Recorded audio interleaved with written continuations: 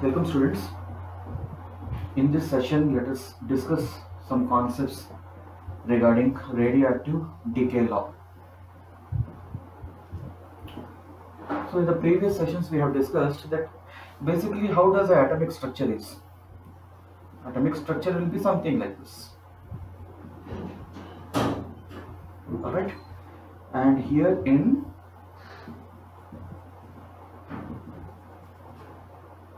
here in orbits electron will be rotating. This is your atom. This the central portion is nucleus. It is not like some gola inside which this we are just showing. It is basically a bunch bunch of neutron plus proton. All right? And these electrons are rotating in particular orbits. Let us see and this is your atomic structure. Now here basically what happens?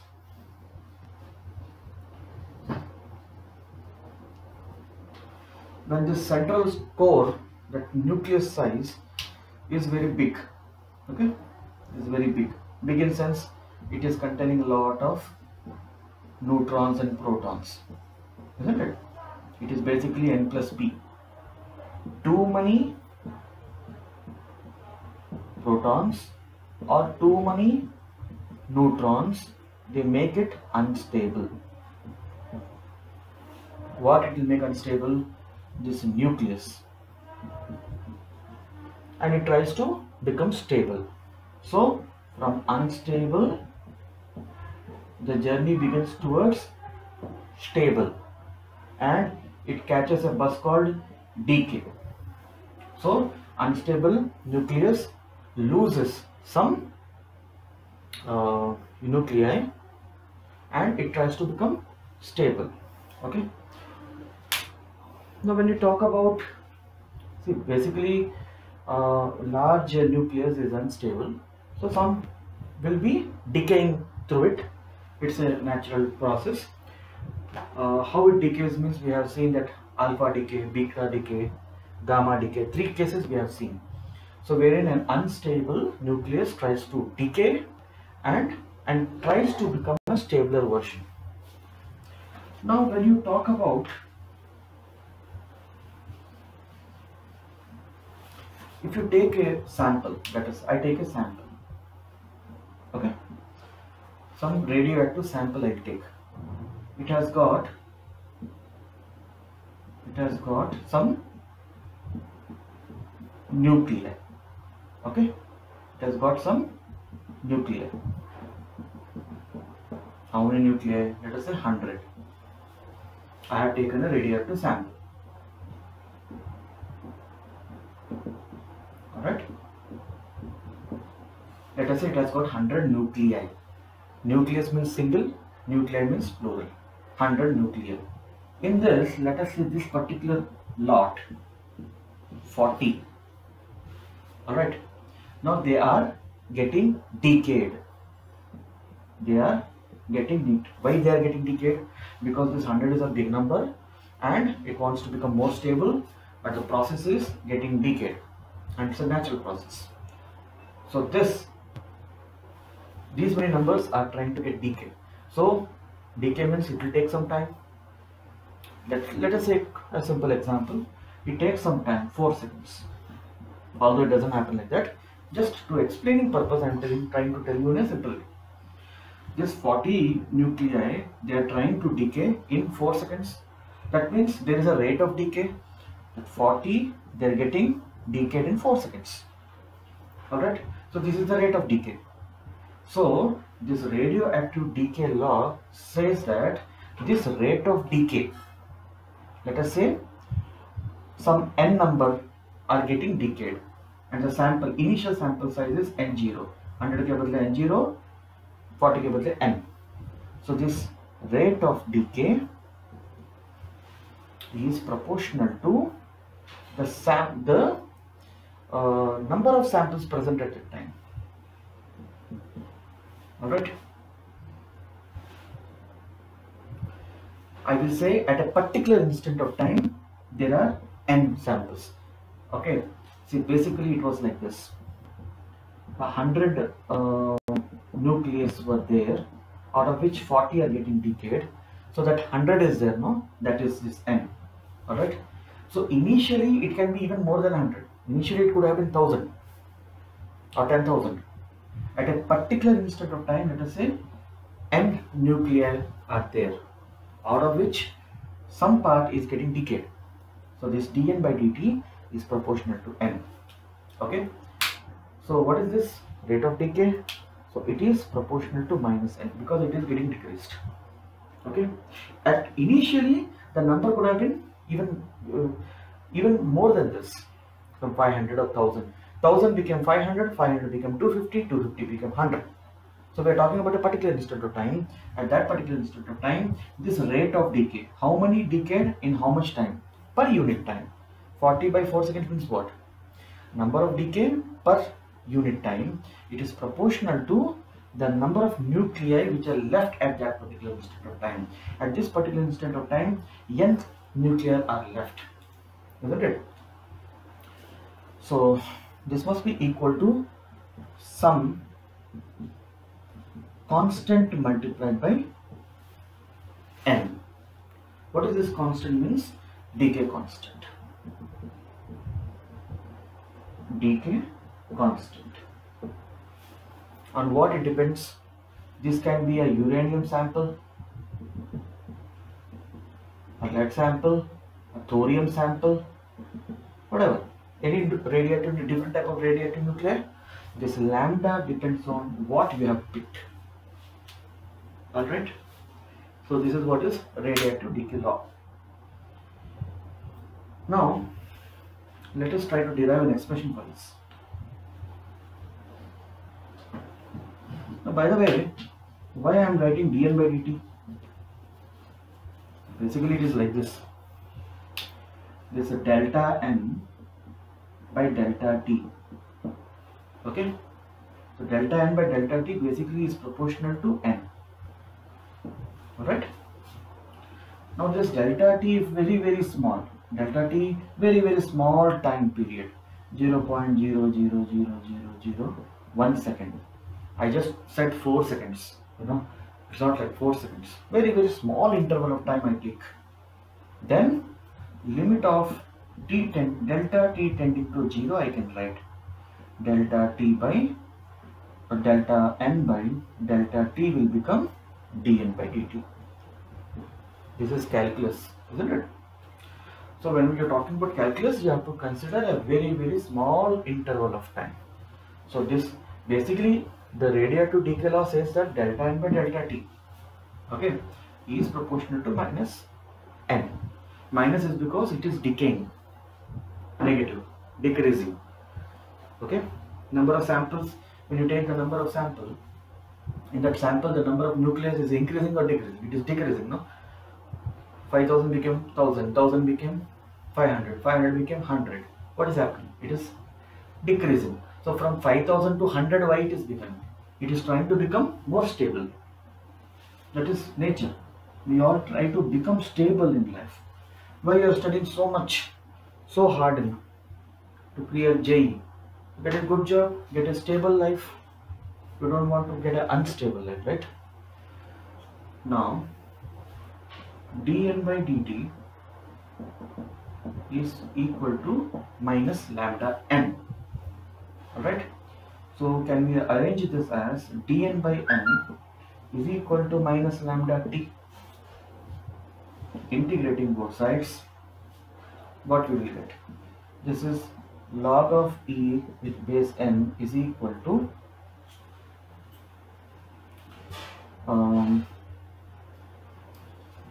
I should have written here dt this is not lambda t small goof this is lambda dt dt is a very very small interval of time. Just to give it a mathematical format you know. So this is what? So this is minus lambda t because integrating there must be a constant of integration also. Alright? So this is the equation we have got. But initially we have discussed that at time t is equal to 0 how many samples were there? The number of samples were there were n is equal to n0 initially. Alright? So we will put that. So put t is equal to 0 in this. Why you are doing this? Because you have to evaluate this c. You want to know what is the constant of integration. So at t is equal to 0 means this will become log e with n0 becomes equal to c putting t is equal to 0 so this original equation it now becomes ln n is equal to minus lambda t plus ln n0 right? Or ln n minus ln n0 is equal to minus lambda t. Can we write this as ln n by n0 is equal to minus lambda t okay this means n by n0 is equal to e power minus lambda t or n is equal to n0 e power minus lambda t.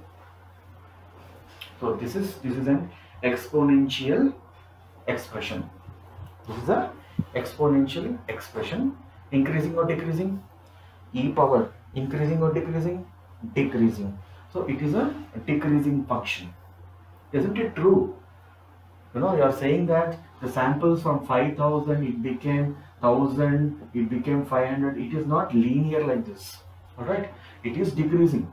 This initial sample was n0 it is dying down. It is reducing you know. It can go up to infinite time also. Actually it goes up to infinite time. This radioactive process doesn't get finished over in one hour and two hours it goes on and on even sometimes billions of years all right now, now this decay process, it is not like linear process. It is a exponential process. If you try to plot a graph, just to make a note of this. If you try to plot a graph, this x-axis is time and the y-axis.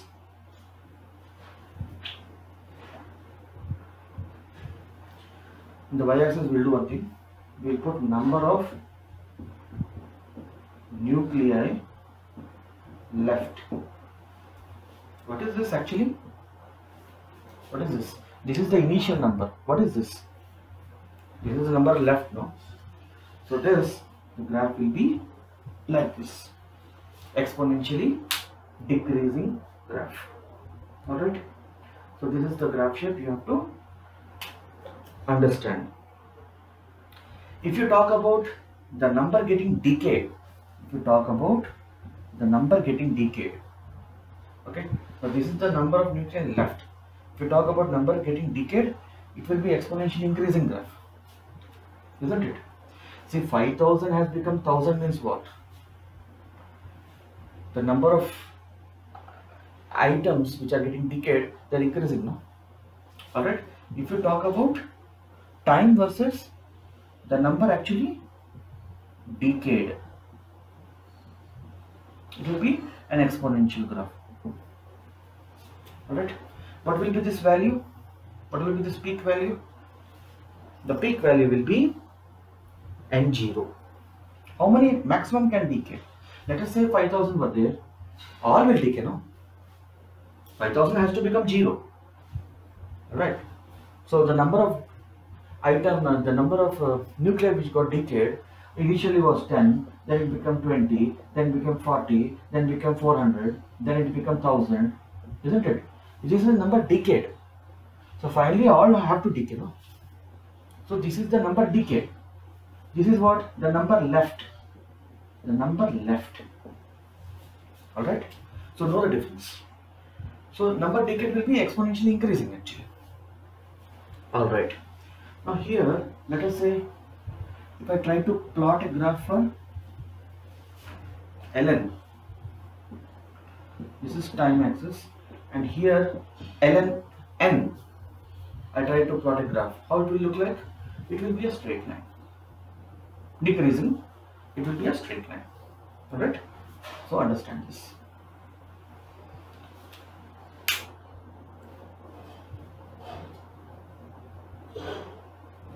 So, so one expression we have got is n is equal to n0 into e power minus lambda t.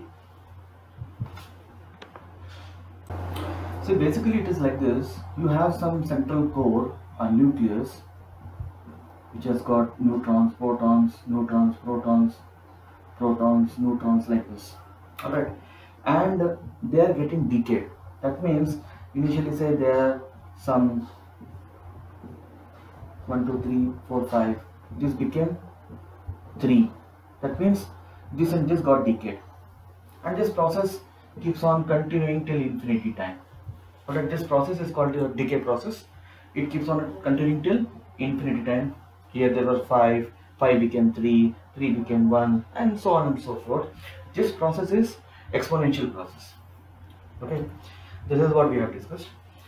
And uh, here we need to understand that now why this continues up to a very long amount of time means See, you remember this, like, how this decay process happens. You have studied about alpha decay, beta decay and gamma decay, right?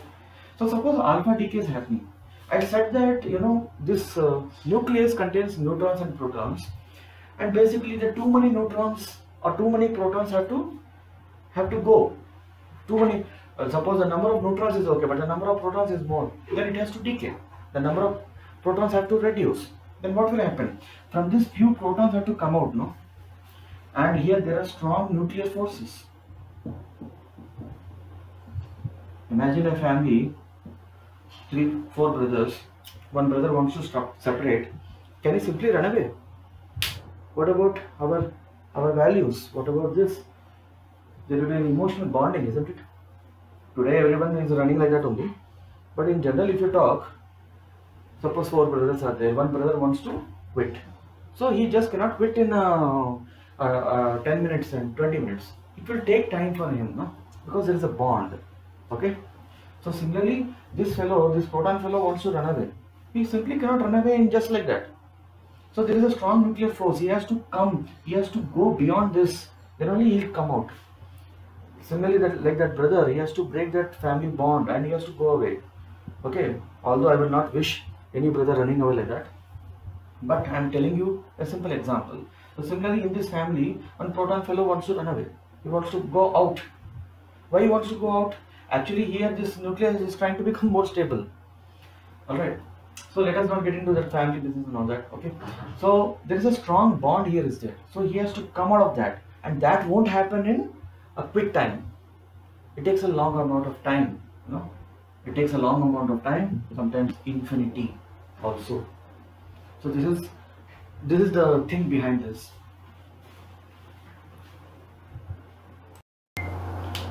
Now let us talk about this rate of decay. All right rate of decay is denoted by r. And we talk about minus dn by dt. Rate of decay is how many nucleus are getting decayed in how much time? And it is minus because it is negative rate. It is not an increasing rate. It is a decreasing rate. Right? You know that n is equal to we have just derived n0 into e power minus lambda t. See students here you have to understand clearly the difference between the initial number and the leftover. So i'm, I'm again telling you initially there were 100 20 got decayed how much left? 80 all right. Now at that particular instant of time this is the value of n but what was the initial number? This was n0 alright? So 20 got decayed let us in 2 seconds. 20 got decayed in 2 seconds. So dn by dt is how much here? dn by dt is 20 by 2 seconds. Like that you have to understand. Alright? So r is equal to minus dn by dt but n is equal to this much. Just put over here. So minus d by dt of n0 into e power minus lambda t. So what is a e power minus lambda t is minus lambda will come out. So it becomes lambda minus minus gone. So lambda n0 into e power minus lambda t. Isn't it? Then what is this again? This is again n no?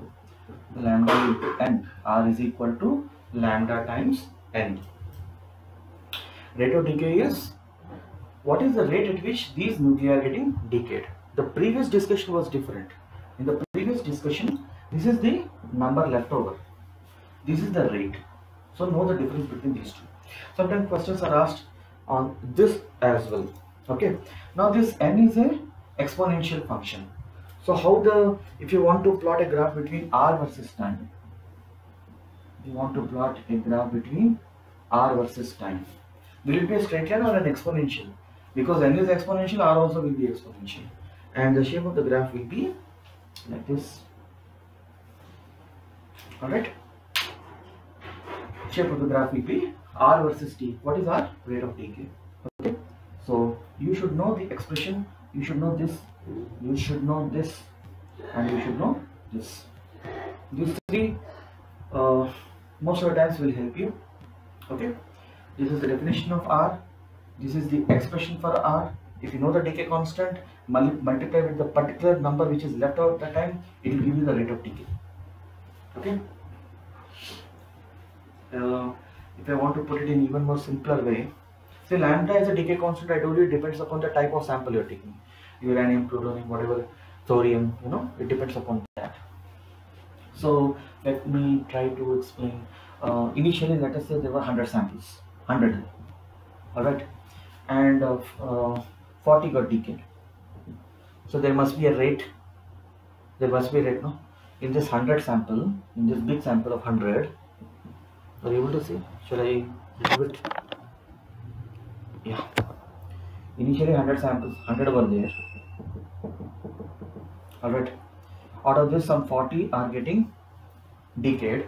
So there must be a rate. So that rate is equal to lambda times this n which are left over now so at that particular instant of time 100 were there 40 are getting decayed. So there is a rate and that rate is actually lambda times the n. This is the n value.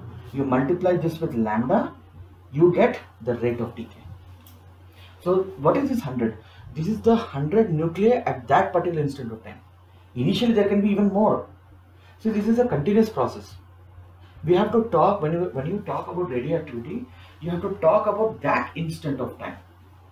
Initial sample can be n0 okay? Suppose you are talking about 5 seconds. You are talking about 10 seconds alright? So it is like this. So initially some samples were there 1000 samples were there 1000 were there. After 2 seconds what happened? Now 500 are left over. After another 2 seconds what happened? Now 100 are left over let us see okay? Now this these numbers are your leftovers but there must be a rate of decay no? That is why these numbers are decreasing. So that number is this r. Now how to get this r? You have to take the decay constant and multiply with the number which is present at that particular instant of time. Okay? So remember these expressions? And uh, in the next class we will see we'll talk about the half-life and all those things. For that these two you should understand. The expression for n and the expression for r. Okay then see you then. Take care. Bye bye